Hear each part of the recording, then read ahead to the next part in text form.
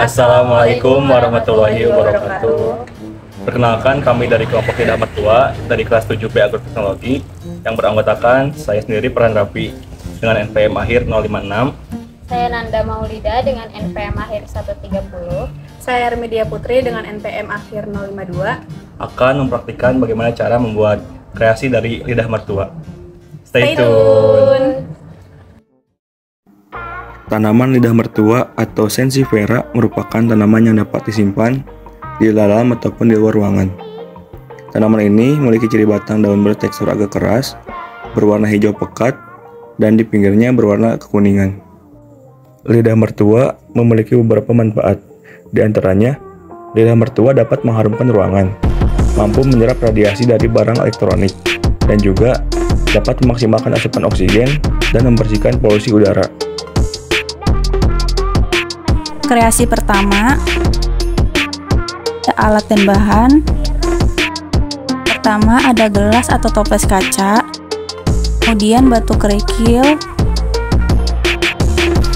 kemudian lidah mertua ukuran mini, dan air.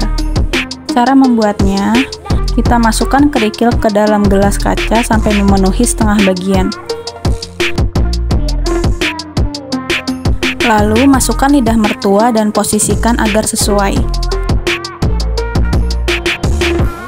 Kemudian tambahkan kembali kerikil hingga memenuhi seluruh bagian gelas kaca. Setelah itu, tuangkan air hingga mengenai akar tanaman lidah mertua.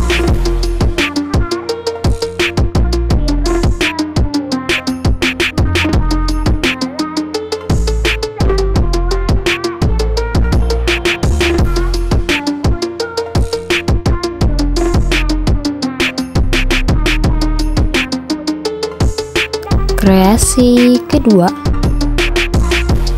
Alat dan bahan. Yang pertama yaitu ada pot kecil, yang kedua ada media tanam, yang ketiga ada lidah mertua, yang keempat ada tali serabut kelapa dan lem tembak, dan yang terakhir yaitu ada kerikil. Cara pembuatannya yaitu tempelkan tali serabut ke sekeliling pot menggunakan lem tembak.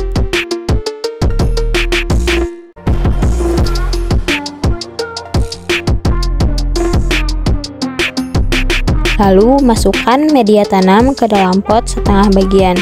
Setelah itu, masukkan tanaman lidah mertua, atur posisi agar sesuai. Lalu tambahkan kembali media tanam ke dalam pot.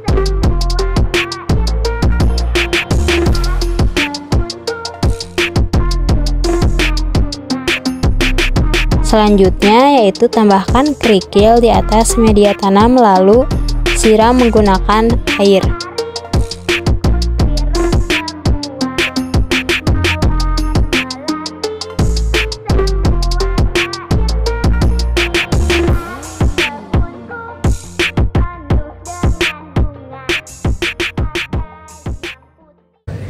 Mungkin cukup sekian dari kami, kurang lebihnya mohon maaf.